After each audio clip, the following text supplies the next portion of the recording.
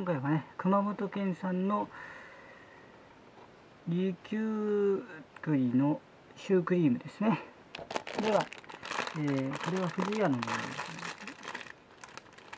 紹介したいと思いますね。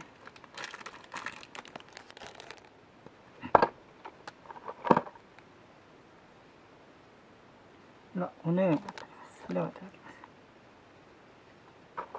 ます。うん。うん。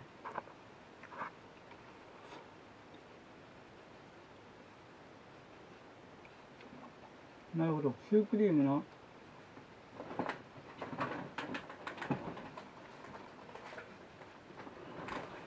甘さが。うん。ふんわりとしていて。確かに。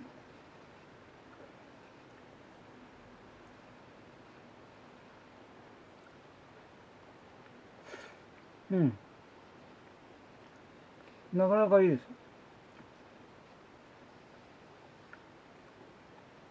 甘い栗の。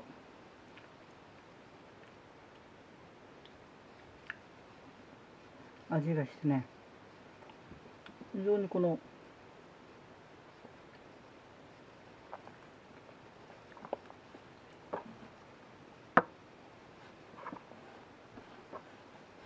味わいとねこれなんて言うんだろうな。うん。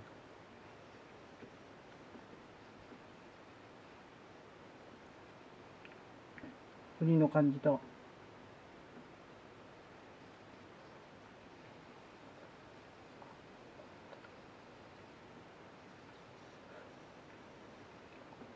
よく出てきてうん。なかなかいい味とね。